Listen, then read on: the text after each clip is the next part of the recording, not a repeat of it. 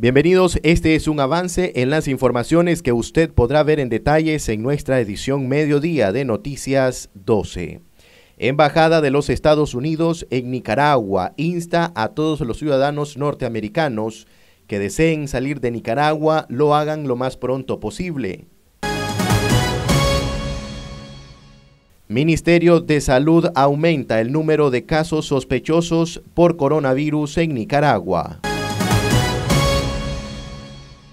Movimientos estudiantiles de la Alianza Cívica por la Justicia y por la Democracia solicitan un espacio de representación propia dentro de la coalición nacional. Ampliación de estas y otras informaciones en nuestra edición mediodía de Noticias 12.